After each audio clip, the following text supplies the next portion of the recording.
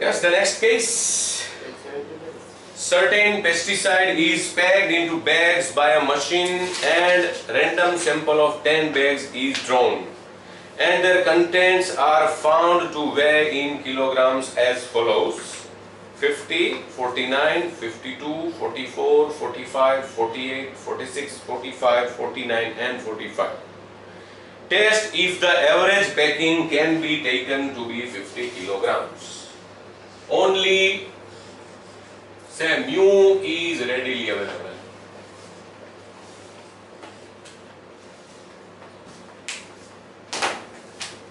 We require to find out all other parameters. First of all, this is the case of single mean.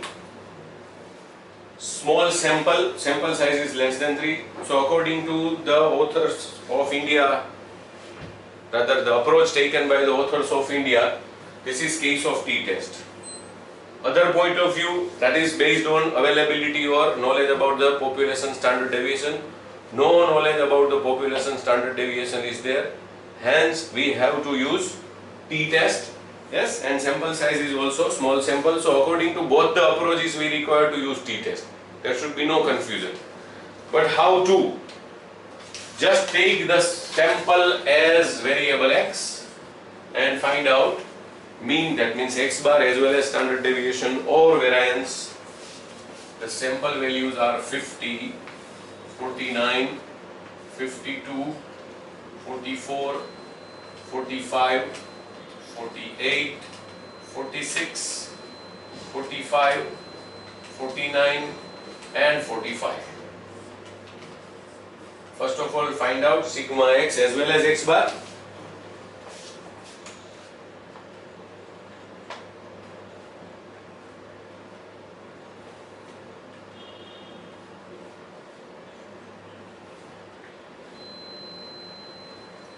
Yes. What is the total?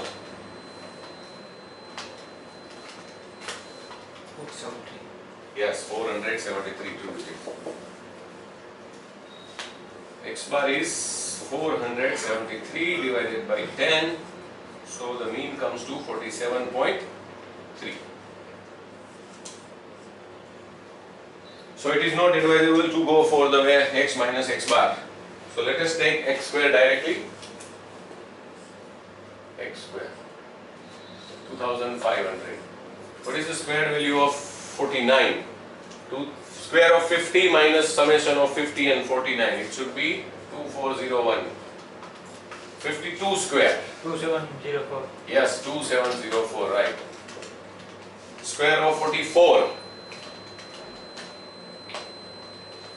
yes square of 44 44 into 44 16 1936. Yes, 1936. 1600 plus 320 plus 16. 45 square. Is it 2025? Yes. 48 square. 2304. 2304. 46 square. You can add 45 plus 46 in the square of 45. 2116. Yes, 2116. 2025 plus 45 plus 46. That is also same.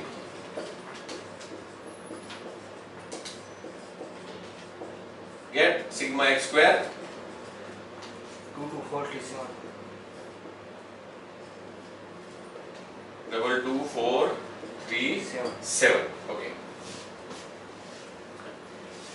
Let us calculate x square. Sigma x square minus sigma x whole square upon n upon n minus 1.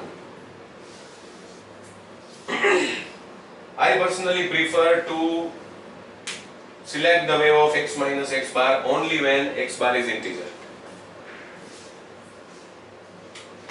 Let us substitute the values.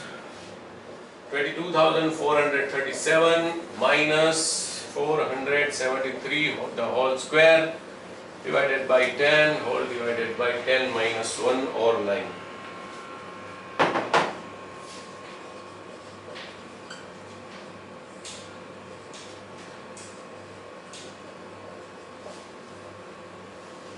473 the whole square divided by 10. What is the value? 22372.9. 22372.9. Okay. Now what is S square?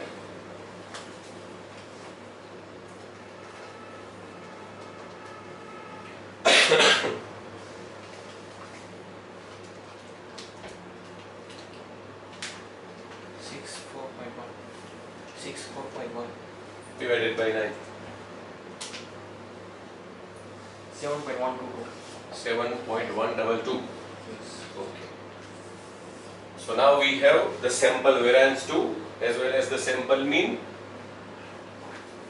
So our list of the available data should be extended by these two values.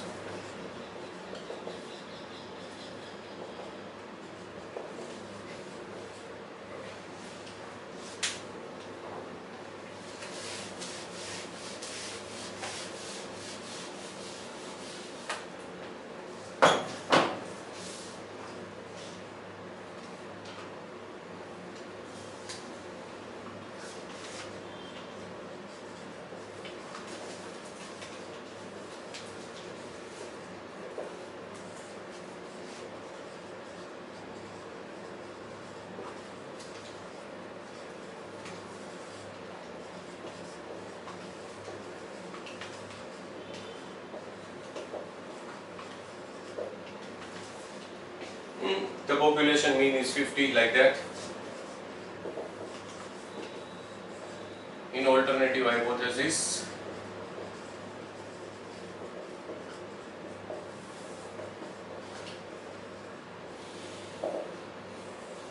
we just require to test whether the machine is packing on an average for 50 kilograms or not. So all the two sides are actually open. The average packing by the machine is not because the paper setter is not clear about the direction of the hypothesis. That means this is or rather this cannot be taken as one tail test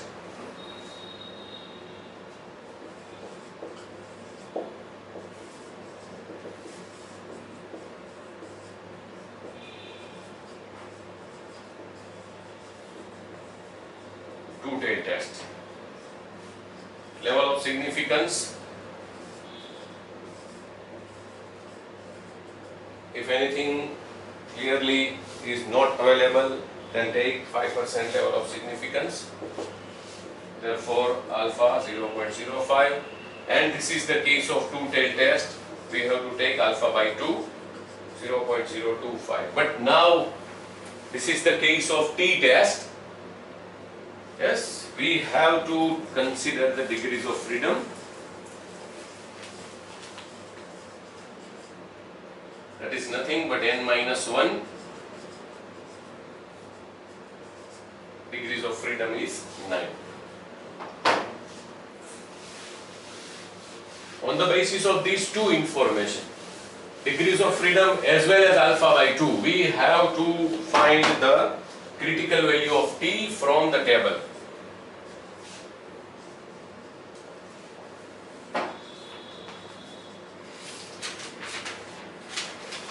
critical value of t degrees of freedom in first column 9 row of 9 and column of 0.025 row of 9 and column of 0.025 Two point two six two. 2.262 right? Now we will calculate t but in same way. X bar minus mu upon under root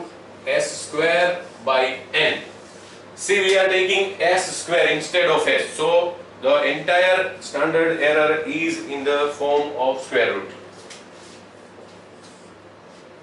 47.5 minus 50 upon under root 7.122 divided by 10 minus 2.5 divided by the square root of 0.7122.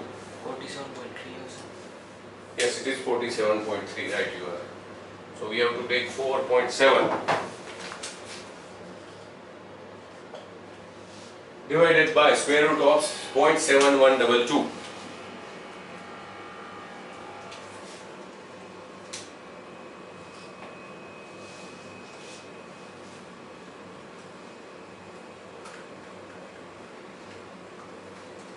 Point eight four three nine. 8439 it means 844. So it is negative.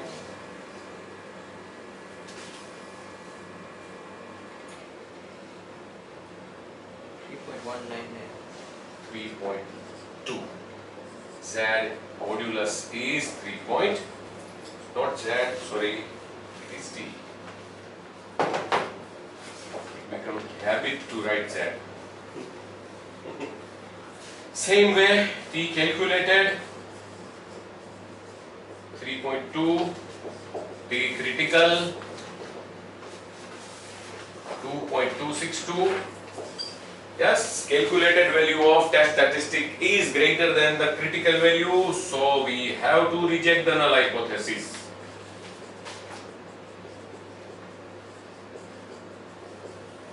So conclusion comes from the alternative hypothesis. That is mu is not 50.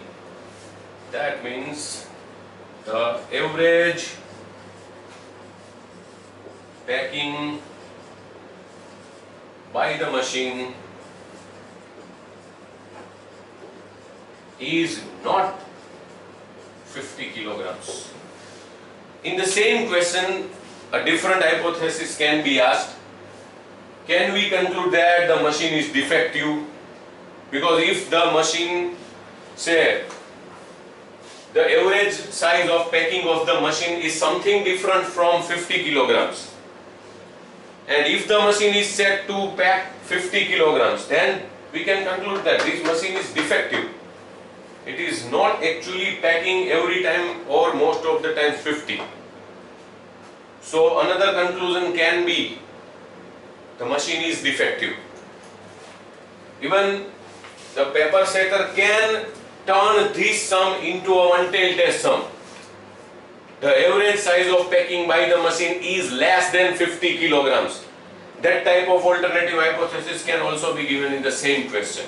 Can we conclude that the average size of packing by the machine is less than 50 kilograms? Yes, then HO of 50 kilograms is rejected. So the alternative hypothesis either can be the machine is defective or it can be the machine or rather average size of packing by the machine is less than 50 kilograms. That is also possible in the same question. Just we have to change the wordings of our alternative hypothesis accordingly as well as the conclusion. But if we change the alternative hypothesis accordingly and the null hypothesis is rejected, the conclusion is actually nothing. It is repetition, something like copy and paste of our alternative hypothesis when HO is rejected here. If HO is not rejected here, then our conclusion is nothing. It is something like copy and paste of our uh, null hypothesis. So you can think about all these directions or dimensions in the same question. Yes, thank you.